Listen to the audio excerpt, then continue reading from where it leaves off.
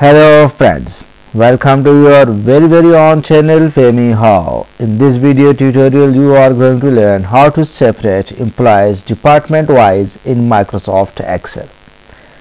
Friends you can see some employees names with their department on your screen and separating the employees like this by dragging it will take too much time. So don't do this. Instead use filter function.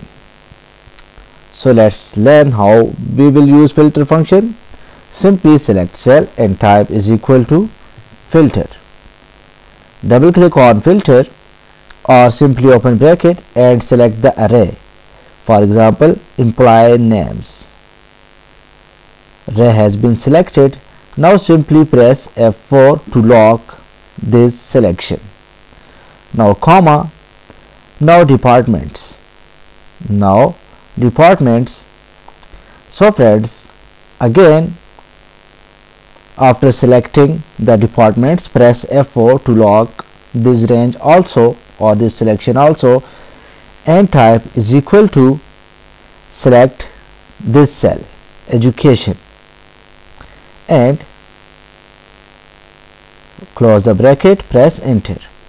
You can see all the employees from education department has been filtered out. Now drag the formula. And you will get all the employees relating to their departments separated in separate columns. So friends, I hope you have learned how to separate employees based on their departments or department wise in Microsoft Excel. If my video helps you in any way, please subscribe my channel and hit the like button. Thanks for watching. Thanks for your time. Take care. Goodbye.